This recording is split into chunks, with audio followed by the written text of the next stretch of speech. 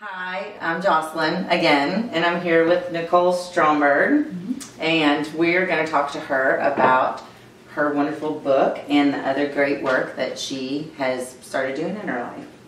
How are you today? I'm good. Good. I'm great. Thanks for having me. Oh yeah, we're super psyched to have you. Um, just in talking a little bit, I'm already excited to hear some more stories about you. So, um, first of all, just tell everybody a little bit about yourself. Like, are you from Woodford County or?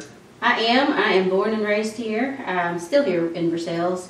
I have two sons uh, and a husband, and they are going to school here. And my husband also works here in Versailles. So we are rooted in. You are rooted. Woodford County. Yes, you are Woodford County. Woodford It's County. 100%. Yes, And um, do you work at all? I do. I'm a hairdresser normally, uh, and I'm also this new artist, this found author. Right. And I am. I work a couple days a week doing hair. And So you I- still do do Yeah, I hair? still do hair. Do you do that at a salon here? I do a salon in Lexington. hmm Oh. It's called Studio A. Studio. A, awesome. That's good to know.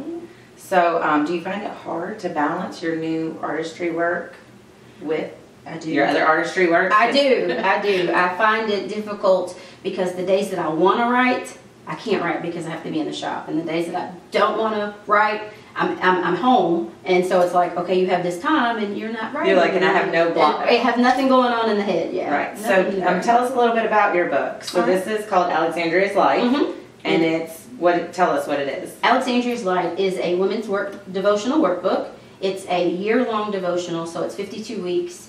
Each week is one considered one entry, and what that means is you have your scripture, your commentary of some transparency of my life, experience of something that's happened, and um, I show you how scripture has helped me and how I've, I guess, gotten a quiet time with God and how I've gotten closer to having a closer relationship with Him. So there's five days worth of questions, and of course we have seven days in the week, so, So you pick not the days. right, Yeah, exactly. you pick the So you days. don't feel weird because a normal devotional, um, just to show the difference, not that one's better than the other, but a normal one is daily usually, right? Yes. And daily you have a scripture and you have questions and, and stuff, and you write all of that down. Well, right? daily normally is just they give you the scripture and they may give you a little bit of the commentary, but you don't have questions. Or if you do have questions, it may just be one, like a point to ponder, something to think about. Right. Whereas this, my book has five, and you actually have homework you have to do. It usually takes anywhere from anywhere from ten to twenty minutes, depending on how deep you want to get or how much time you have. Now, did you do that so that that would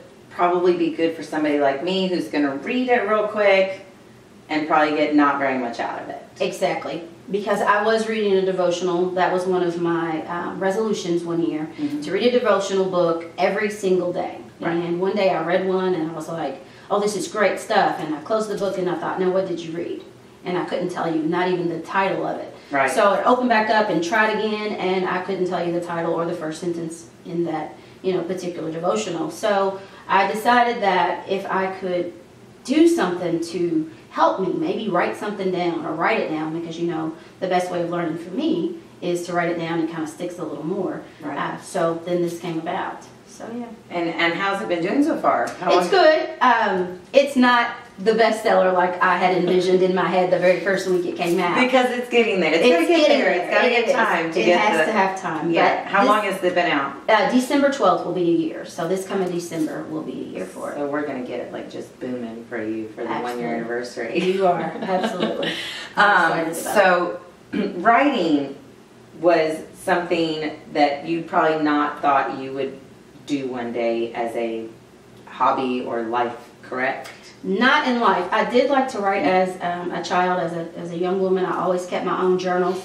Uh, I did have outlandish thoughts then. Never knew why my Outlandish. thoughts were as far out as they were. No one knew. It was just something that, you know, I kept to myself. Um, I was introduced to writing uh, from a therapist, actually. Uh, I had some traumatic um, event happen to me when I was graduated from high school. I was robbed at gunpoint. Oh Uh, I worked at one of the local restaurants in Versailles, and I was the one that actually um, did the composite on the, the, the guy that came in to rob us. So we were able to catch him from my composite from beauty school.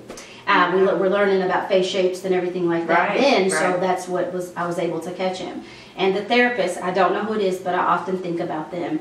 He he told me to write. He said, whatever you do, whatever your feelings are, just write. And from there, I had just been writing. Um, my mother passed away seven years ago. I wrote every step of the way of her writing. Never to think that something would come out of this writing, and it did. And it did. And Well, it that's amazing. Mhm. And writing wasn't always easy for you Yeah.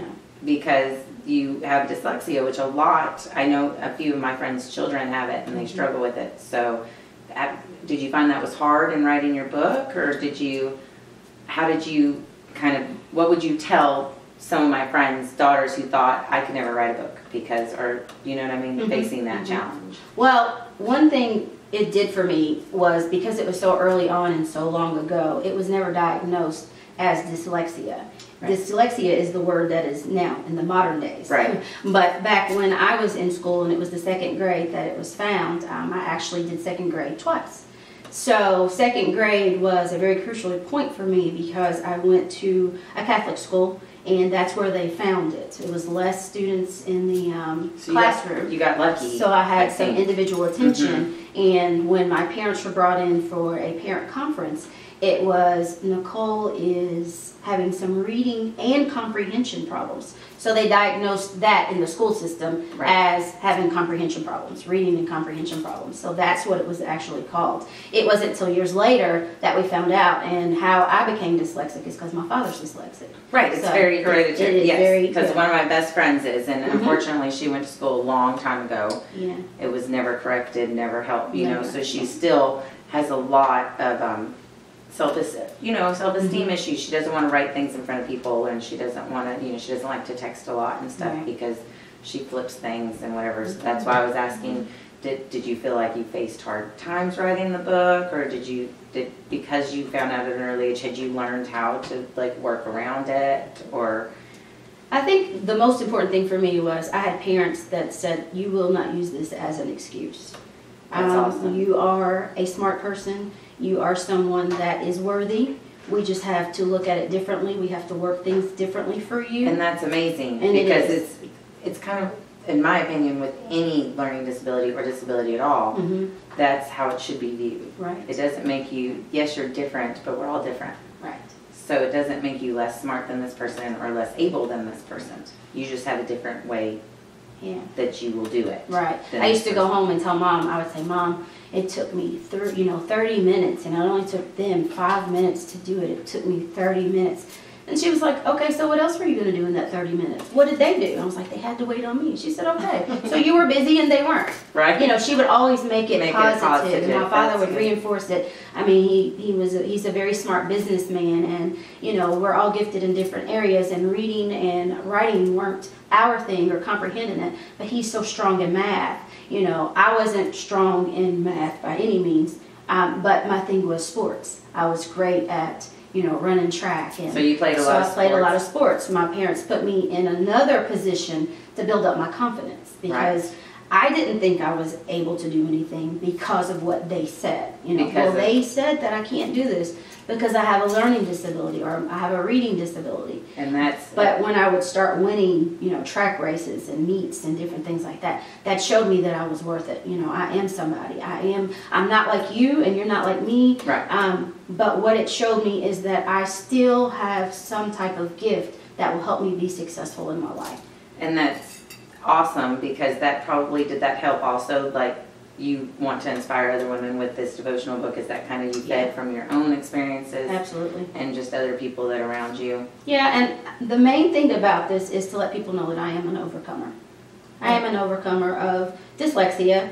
Do I still put my six before my five? Yes. Do I still write my IE different or EI, whatever way it goes? Yes, I still do that. Do I still make words like wound and wound? Do I call them out for the same word? Absolutely. Uh, my children get on me all the time for see and saw.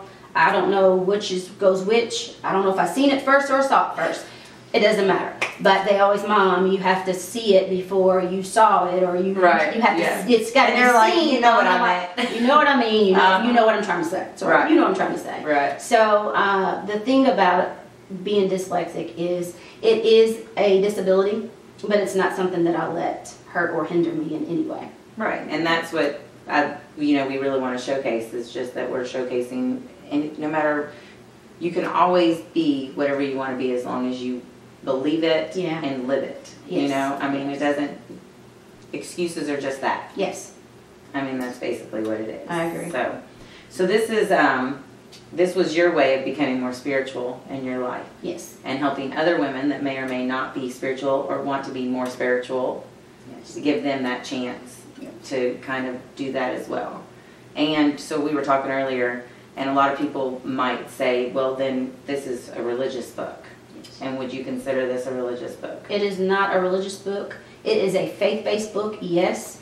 It is a book that teaches people about spirituality and not religious or religion. Religion is man-made in a sense, Mhm. and spiritual is something that's inside of you. Can't anybody take it away? Can't any, no one can can um, grow that thing but you and and and the the faith that you have. So I look at religion as a Sunday morning experience, There you go. and I look at spirituality as an everyday, 24 hours a day, seven days a week. week Right, and this is to help that. Yes. And, that's and I think there's a lot of us that strive for that, and like you said, want, um, you know, with what I went through, a lot of people say, well, God has a plan for you, and you're, Mhm. and, and I do struggle with that. I Right. struggle with what could that possibly be with something like that happening. So, Mhm. you know, somebody like going through that, I would definitely want to look at your book and read, you know what I mean, just to, so that I can, um, because church doesn't do it for me. Not that I'm not, I'm not talking down about church. I'm just not. saying, like, I go there and I feel it that Yes. day. I feel it that moment Right. and I feel it while I'm there. Yes. But then I leave and I may feel it throughout half of the day. Mm-hmm. But then Monday comes and I don't feel it anymore. You know what I mean? That joy and that that feeling that brings tears to your eyes, it's gone Right. Once you've left, you know, the, Right. the people around the church or the church or whatever. Exactly. So that this is to kind of help keep that feeling, I guess, all week. Yes. Keep you within that relationship, that communing back and forth with um, with God. And kind of help. Um, I was reading on your website that she has a website. If y'all want, to, do you want to tell everybody what your website is? It is. It's oh, what is my website? alightministries.com. That's what it is. alightministries.com. And that tells more about her story. And Yes. um, it also, if you want her to come speak, she does those. I do. She does. She does talks of any kind that you want to book her for.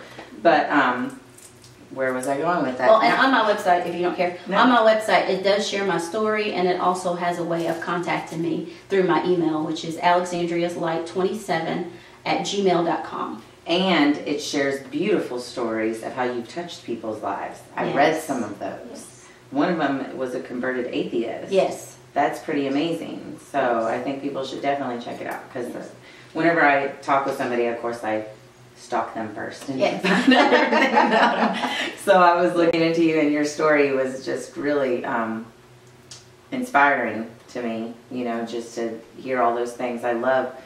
I just love hearing anybody that didn't let something stop them. Yeah. You know, that's what I. That's what I. Why I like doing the arts and entertainment. I want to show young women, old women, any kind of woman. I mean, how old were you? If you don't mind me asking, how old were you when you decided to write this book? Uh, I was 40, so it was like So a crucial point in my life. I'm just saying. So there's, Yeah. you know, there's 30, there's women my age. I've thought about doing certain things that are like, well, I'm almost 40 now. I can't do it. It's too late. And that's what I love about you know doing this part of my of the magazine is that you were 40 Yes. and you wrote a book yeah. and it's gonna do great and you may get to write another one and another one and another one and that started you know at a prime part in your life which most people think it's over the hill and you're going downhill from there but I don't agree at all. I don't agree. I'm with you. I don't Yeah, I don't agree at all. I think this is the starting point of a new chapter in your life Mm-hmm. and that's that's amazing. Where can we buy this great book? Amazon.com. and it's Alexandria's Light, which is the devotional mm-hmm. workbook, and she has a journal, which is pretty cool, and that just tells you like you can write your own thoughts and your own feelings. And it doesn't even, I don't think, have to be on the scripture, right? This Does would just not, be your just journal of anything you're going through in your life. Anything, anything Yeah. that's worth putting on that paper. Yeah, and that's good because, like you said, therapist, they told my daughter to do the same thing. Just write. That's right. anything you're feeling, it's good to get it out. Mhm. So that was pretty smart. Well, it was really, really nice talking to you. Yeah. I really can't wait. I'm gonna check it out. I can't wait to look into it and see. And I'll probably order my copy. Awesome. So um, I am Jocelyn, and I am inspired. I am Nicole, and I'm an overcomer.